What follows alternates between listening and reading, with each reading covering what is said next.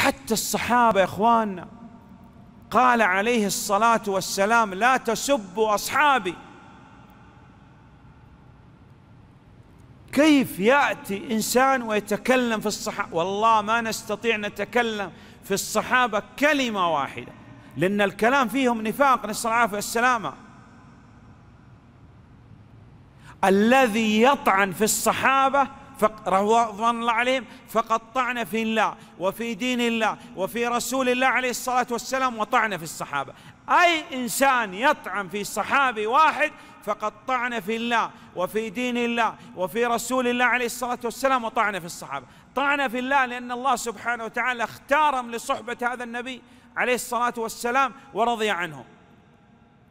طعن في دين الله لأنه نقلوا لنا الدين. كيف نطعن في من نقل لنا الدين؟ إذا نقل لنا الدين من أناس ليسوا بثقات. إذا الدين فيه شيء. طعن في رسول الله عليه الصلاة والسلام لأن المرء على دين خليله.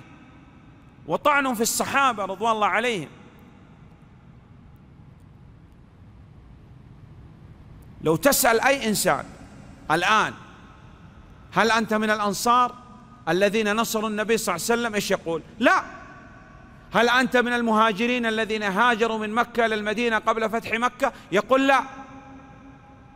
وتقول وأنا أشهد أنك لست من الذين قال الله سبحانه وتعالى فيهم والذين جاءوا من بعدهم يقولون ربنا اغفر لنا والإخوان الذين سبقونا بالإيمان ولا تجعل في قلوبنا غلا للذين آمنوا. لست من المهاجرين ولست من الأنصار. لابد أن تقول ماذا؟ تدعو وتترضى عن الصحابة رضوان الله عليهم.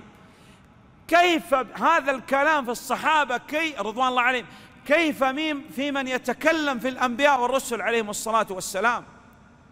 يقول بعض العلماء والله لو لم يذكر لنا الله سبحانه وتعالى قصة آدم في القرآن عليه الصلاة والسلام ما استطعنا نتكلم بكلمة. نبي من الأنبياء عليهم الصلاة والسلام. ماذا تريد تصنع؟ تاب الله عليه. أبو البشر. إخواننا لا يمكن أن نطعن في الأنبياء والرسل عليهم الصلاة والسلام. فكيف في من يطعن؟ برب العالمين. يا إخواننا الشرك مسبة لله. الذي ينادي الولي هذا يسب رب العالمين. والله. يجعل مع الله ند. الذي يذبح للصنم يذبح للجن هذا يسب رب العالمين. وما قدر الله حق قدره.